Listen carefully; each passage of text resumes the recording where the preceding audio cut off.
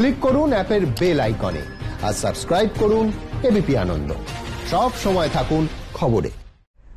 করোনায় আক্রান্ত হয়ে মৃত্যু সংক্রমণের আশঙ্কায় বাবার মুখাগ্নি করলেন না ছেলে। অমানবিক ঘটনার সাক্ষী কোচবিহার। শেষমেশ মুখাগ্নি করেন ডেপুটি ম্যাজিস্ট্রেট। প্রতিক্রিয়া পাওয়া যায়নি পরিবারের। করোনা আবহে বেড়েছে আতঙ্ক বেড়েছে সামাজিক দূরত্ব কিন্তু সংক্রমণের আশঙ্কা কি শেষ করে দিচ্ছে সম্পর্কগুলোকেও তাই কি বাবার মুখাগ্নি করতে রাজি হলেন না ছেলে?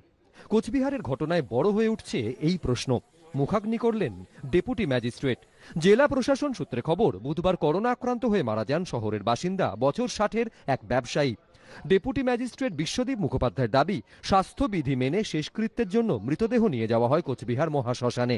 সেখানে ছিলেন পরিবারের সদস্যরা, কিন্তু সংক্রমণের ভয়ে মুখাগ্নি করতে রাজি হননি ছেলে।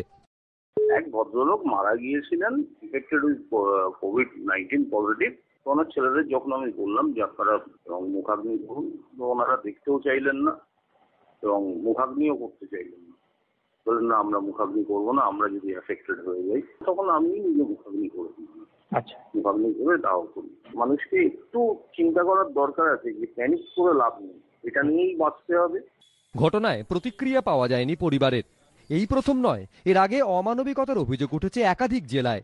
করোনা আবহে উত্তর চব্বিশ পরগনার বনগার এই ছবি নাড়িয়ে দিয়েছিল সবাইকে।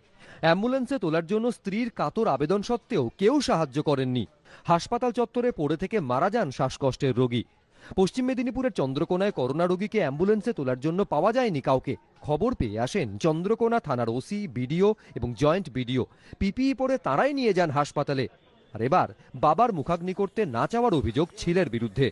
করোনা কি তাহলে প্রাণের সঙ্গে কেড়েছে মানবিকতাও? একের পর এক ঘটনায় উঠছে প্রশ্ন। শুভেন্দু ভট্টাচার্য এবিপি আনন্দ কোচবিহার।